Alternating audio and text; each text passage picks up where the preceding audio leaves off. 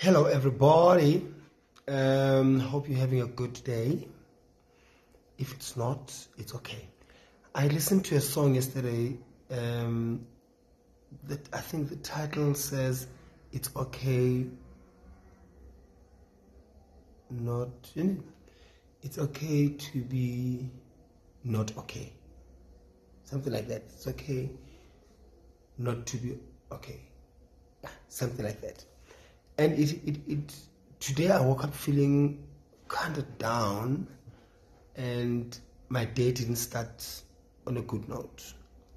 Um, you know, disagreements here and there, business wise, personally, and so forth and so on.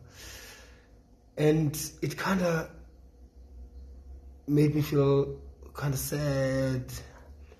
And as as most of you may know, I don't know if you know that I was diagnosed with depression last year, early last year, around Jan, and I've been dealing with it, and I don't believe it completely, completely, it completely goes away, but I believe you can improve, you can work on being better and positive. So today is one of those days where I felt this thing is not gone but more than anything, lately I've been suffering from a very intense amount of anxiety. And I didn't know that anxiety could be a disorder until I saw some people on Facebook also saying, asking, Do you guys suffer from anxiety? And I realized I suffer from anxiety. I I was telling my colleague, I was telling Lerato Kganyago the other day, yesterday, that I suffer from being constantly anxious and being scared of something that I don't know. Also, being scared of what might go wrong because at the moment, sometimes, at the moment, most of the time, my things are going so well. My career is going so well. My marriage is going well. My family is doing good. Um, I'm good. But there's this anxiety, guys. It is a joy stealer.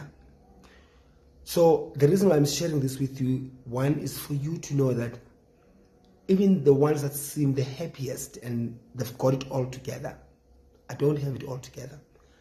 I go through fears, I go through anxiety, I go through depression, I go through sadness. And one of my friends yesterday called me aside and he asked me if I've achieved everything that I've wanted to achieve. And I said, um, I've achieved almost everything that I wanted to achieve this year. And he said, What's that one thing that's still missing? And I said, I couldn't think of anything because I thought I got it all together.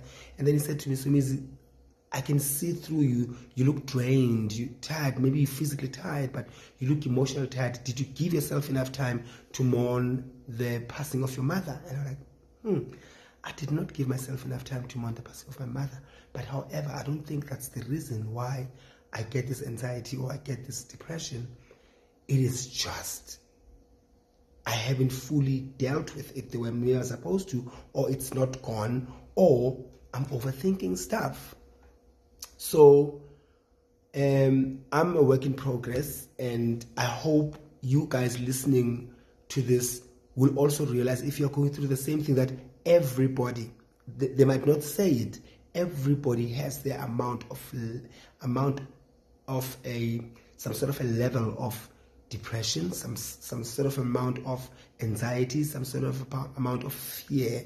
I get scared of, about my future. I get scared about my finances. I get scared about my life. I get scared about my love life. I get scared about the people that i care. I get scared. And it's okay not to be okay tomorrow is another day. So today, after my last meeting, I thought, let me go to the gym. And then as I'm traveling, like, no, man, hell no. I am not going to the gym. I'm just going to get home, um, pour a glass of champagne, um, watch tennis or watch something, and just not do anything. Anything. Um, at the moment, I'm still alone at home, and I'm thinking, let me just use this time to just not do anything and not to worry about anything. Let me let go and let God. For now, anything that's going to happen is beyond my control. But at the moment, I can control my environment, and my environment right now is to just not do anything. Just do me. Not go to the gym. The gym is going to be open tomorrow. I'll be fine. Tomorrow's another day. Tomorrow's a brand new day, brand new opportunities for me to regain my joy, my strength, my power, my fearlessness, my positive attitude. I'll be okay. But for now, it's okay not to be okay. I love you. Have a wonderful day. Know that if you're going through what I'm going through, you are not alone. The biggest, the most famous, the most richest, the most prettiest, the most handsomest, the most physically beautiful, the most, the most, the most, we, they go through the most. Okay?